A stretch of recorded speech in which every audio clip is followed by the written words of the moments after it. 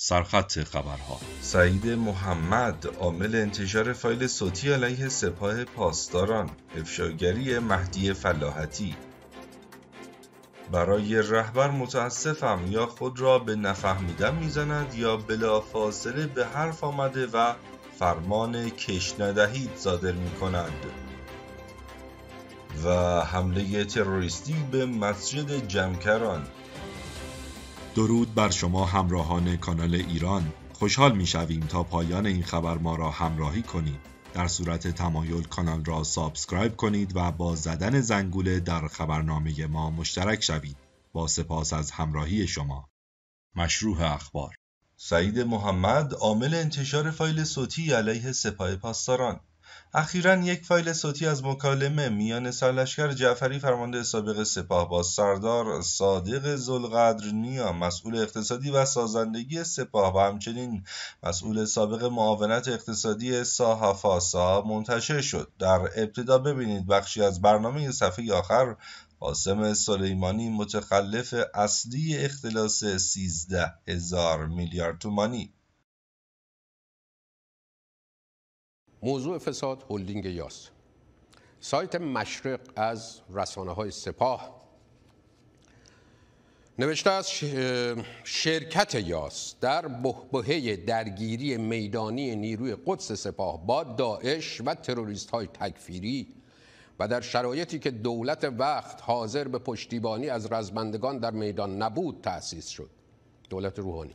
این شرکت قرار بود از طریق اجرای پروژه های عمرانی منابع مالی لازم را برای پشتیبانی از جبهه مقاومت تأمین کند.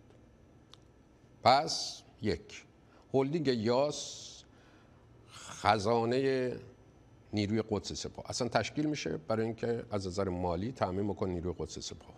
چجوری تأمین می‌کنه؟ و نقش قالیباف و سلیمانی اینجا چیه؟ هلدینگ یاس من گفتم مجرمای اصلی قاسم سلیمانی ممدلی جعفری قالیباف که اصلی ترین ها رو یادم رفت. ببخشید. حالا هلدینگ یاس زیر مجموعه بنیاد تعاون سپاه بود. سال 92 تأسیس شد. 91 92 هرچند در اسناد رسمی سال تأسیسش رو نوشتن 94 تیر ماه 93 قرارداد 20 هزار میلیارد تومانی بین شهرداری قالیباف و سپاه بسته میشه که عینا براتون می‌خونم. بر اساس این قرارداد پروژه های عمرانی تهران با سقف 20 هزار میلیارد تومان به مدت چهار سال به سپاه پاسداران واگذار شده که ده هزار میلیارد تومان آن باید از سوی شهرداری تهران به صورت نقدی پرداخت شود. در این قرارداد بانک انصار متعلق به بنیاد تعاون سپاه به عنوان بانک عامل تعیین شده و شرکت عامل هلدینگ یاس است. اینجا فقط ده هزار میلیارد تومن سال 93 کش نقد داده میشه به هلدینگ یاس یعنی به خزانه نیروی قدس قاسم سلیمانی. کیا امضا کردن این قراردادو؟ که نه شورای شهر تهران ازش خبر داشت نه دولت خبر داشت نه مجلس خبر داشت فقط بیت خبر داشت.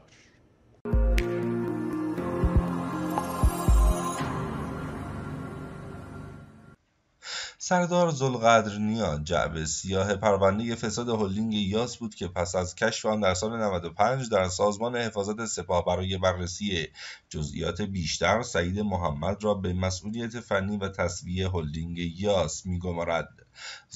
نیا یک هفته قبل از عزل سعید محمد در اسفند 99 از قرارگاه خاتم در سکوت خبری عزل شد.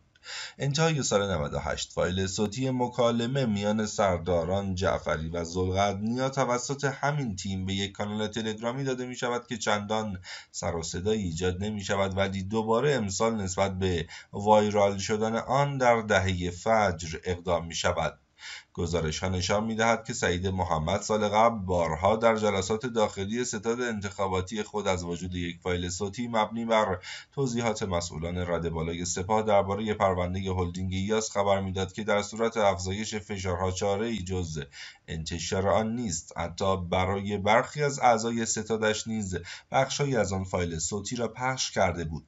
حالا و پس از بازداشت اخیر در منطقه آزاد چابهار و همچنین افزایش فشارها بر انتصاب مسئله دار سعید محمد در مناطق آزاد و عملکرد نچندان مطلوب او در این مجموعه به نظر می‌رسد.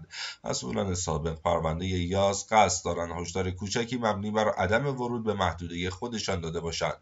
شنیده های نیمه محرمانه نشان می‌دهد. در روند رسیدگی به ادامه پرونده هلدینگ یاس درخواستهایی از سوی رئیس مجلس به قوه قضایی ارسال شده که شاید بتوان علت ثانویه سر و صداهای اخیر را در همین عامل دانست. خداحافظی قالیباف یا ریاست نیگزاد مهمترین قربانی فایل صوتی منتشر شده میان فرمانده پیشین سپاه. معاونش محمد باقر قالیباف رئیس مجلس است که در این فایل صوتی ادعا شده او در جریان گم شدن 8 هزار میلیارد تومان پول تعاونی سپاه در مقام شهردار وقت تهران نقش داشته است. مشاور قالیباف به این فایل واکنشی نشان نداده اما یک نماینده پیشین مجلس خواستار محاکمه قالیباف شده است. دیروز های نزدیک به سپاه اصالت این فایل صوتی را تایید کردند. اخباری غیررسمی درباره هشدارها پیرامون پرونده قالیباف و بیمیلی برخی نهادها به ریاست او بر مجلس یازدهم منتشر شد. به این ترتیب حالا روشن است که اگر فایل صوتی اسفند 99 محمد جواد ظریف را از صحنه سیاست ایران بیرون کرد فایل صوتی محرمانه ای که در بهمن 1400 منتشر شده قالیباف را هدف قرار داده است.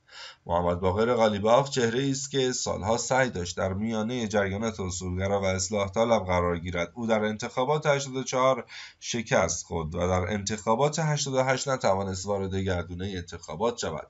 انتخابات 99 به صحنه رقابتی او با جلیلی و ولایتی در جناح اصولگرا تبدیل شد و عدم کنارگیری رقبای همسو را از رقابت با روحانی در مرحله دوم انتخابات باز داشت در انتخابات 96 غالیباف به نفع رئیسی کنار رفت تا به پیروزی او در برابر رئیس جمهوری وقت کمک کند. این کنارگیری اما سودی نداشت. در انتخابات 1400 غالیباف نامزد محتمل جریان اصولگرا بود اما در حالی که وی خود را در یک قدمی پاستور می‌دید ناگهان با نامزدی ابراهیم رئیسی روبرو شد و نتوانست وارد عرصه انتخابات شود.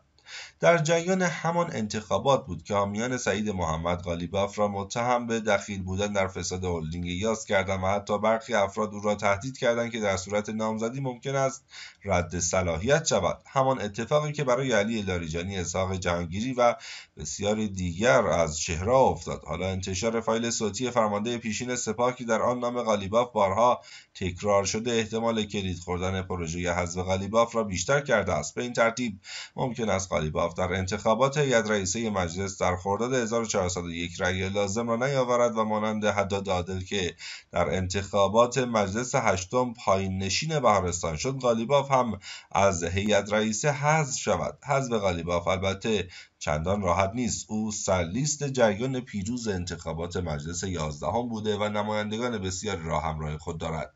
با این حال اگر دولت رئیسی پشت نامزدی دیگر قرار بگیرد و به نماینده ها این سیگنال را بفرستد که با رأی دادن به رقیب رئیس فعلی پروژه ها در حوزه های انتخابی آنها با سرعت بیشتری پیش می روند آن وقت ممکن است چهره نزدیک رئیسی جایگزین قلیباف در هیئت رئیسه شود.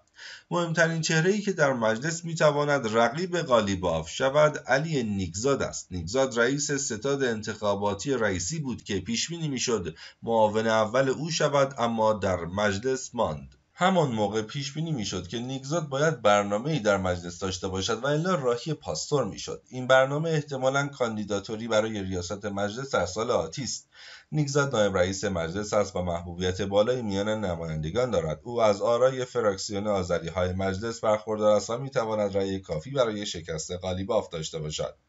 به این ترتیب می‌توان پیش بینی کرد پروژه فایل صوتی که یکی پس از دیگری چهرهای سیاسی را خانه نشین می کند حالا سراغ قالیباف رفته است. سیاستمداری که صدای ریاست جمهوری داشت ولی حالا کرسی ریاست مجلس را هم متزلزل می بیند اگر غالیباف در قریب به یکصد روز باقی مانده تا انتخابات هیئت رئیسه مجلس بتواند نمایندگان را قانع کند که پرونده هلدینگ یاس ربطی به او ندارد و اتهامی متوجه او نیست شاید بتواند موقعیت خود را در بهارستان حفظ کند. در غیر این صورت چهره اصلی نزدیک به رئیس جمهور در صدر پارلمان خواهد نشست و فرایند همسویی قوا را شدت خواهد بخشید. هرچه هست فعلا پروژه فایل های صوتی هر سال یک چهره سیاسی را کنار می‌زند و معلوم نیست کدام های پشت پرده این صداهای محرمانه را به رسانه ها درز می‌دهند. برای رهبری متاسفم یا خود را به نفهمیدن می‌زند یا بلافاصله به حرف آمده و فرمان کش ندهید صادر می کند. اظهار نظر رهبری درباره فایل فساد بزرگی که اخیرا افشا شده خیلی متاسفمان کرد. از یک طرف سخنگوی سپاه ضمن تایید اصالت این فایل صوتی رسما اعلام می کند فسادی در یکی از زیر مجموعه ها بوده و با آن برخورد شده و خاطیان در حال گذراندن مجازات خیشند فعلا درست و غلط این که برخورد شده یا نه بماند. و از سوی دیگر ایشان که در خینی از مصائب ملت و بدبختی مردم چنان خاموش است که تصور نبودن و ندیدن و نشنیدن پیدا می‌کنیم. اینجا سریعا واکنش نشان داده و به سیاق دعا همیشگی همه چیز را به گردن دشمن انداخته و سخن گفتن از مفاسد نزدیکانش را لجم پراکنی مینامد. حقیقتا متاسفیم که هر جا نام مشممد باقر غالیباف یا هر یک از سوگلی های عزیزش مطرح می شود یا خود را به نفهمیدن می‌زند یا علیرغم گزارشات وحشتناک مفاسد شهرداری تا جلوس بر کرسی ریاست مجلس بدرقهاش می نماید یا بلافاصله به حرف آمده و این گونه واکنش های مردمی نسبت به پاندمی فساد در بین مسئولین رده های مختلف نظام را لجم پراکنی دشمن لقب داده و فرمان کش ندهید صادر می کند آیا ایشان حقیقتا مصداق این آیه نیست که می‌گوید چرا مردم را به نیکی وامی دارید و خود را فراموش می کنید و برای خودمان کشور روحانیت و ایشان عمیقا متاسفیم؟ حمله یک راننده با تریلر به مسجد جمکران. مسجد جمکران که دارای چاهی معروف است و زائران در آن نامه های خود را خطاب به امام زمان میاندازند. در سالهای اخیر توسعه زیادی یافت و به یکی از بزرگترین زیارتگاه های ایران تبدیل شد. یک تریلر حدود ساعت چهار بامداد دوشنبه اول اسفند با شکستن درپای مسجد جمکران وارد محوطه این مسجد شد. خبرگزاری فارس این حمله را سوی قصد ناکام به مسجد جمکران خواند و نوشت راننده تریلر پس از شکستن درب شش مسجد جمکران و ورود به محدوده مسجد منحرف و متوقف شد. این خبرگزاری درباره نحوه توقف تریلر و صدمه احتمالی به حاضران جزئیاتی ذکر نکرد اما نوشت که راننده با ورود به موقع خدام و حراست مسجد دستگیر شد و زائران و مجاوران به خارج از صحنه صاحب و زمان هدایت شدند. طبق گزارش فارس راننده تریلر که همکنون در بازداشت پلیس از هنگام حادثه دارای حالت طبیعی نبوده است. این خبرگزاری افزوده که راننده در خودرو مقداری بنزین نیز به همراه داشته است. مسجد جمکران که تا پس از انقلاب اسلامی ایران دارای ساختمانی کوچک بوده به باور عدهای از شیعیان معودگرا به دستور امام زمان امام دوازدهم شیعیان ساخته شده است. وبسایت رسمی جمکران تاریخچه این مسجد را به هزار سال پیش و ملاقات شخصی به نام حسن بن مصلح جمکرانی با امام دوازدهم شیعه نسبت داده است. این مسجد که دارای چاهی معروف است و زائران در آن نامه های خود را خطاب به امام زمان میاندازند در سالهای اخیر توسعه زیادی یافت و به یکی از بزرگترین زیارتگاه های ایران تبدیل شد. در دوران دولت محمود احمدی نژاد رئیس جمهوری پیشین ایران مسجد جمکران بیش از گذشته مورد توجه قرار گرفت و حتی بودجه دولتی برای توسعه آن در نظر گرفته شد.